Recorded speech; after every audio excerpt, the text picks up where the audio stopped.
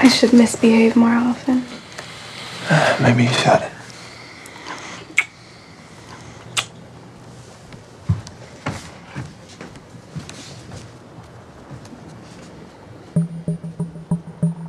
What? You gave me hickeys?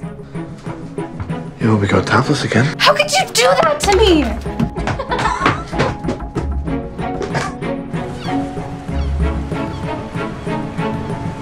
Hey. I apologize. Come here.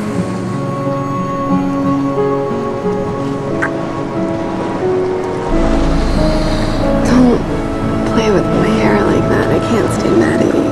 Hmm. Sorry to interrupt. Miss Bailey would like to speak with you. It's urgent. Hey, Ros, what's up? I'm, I'm sorry to interrupt your honeymoon. We had a fire in the main server room this morning.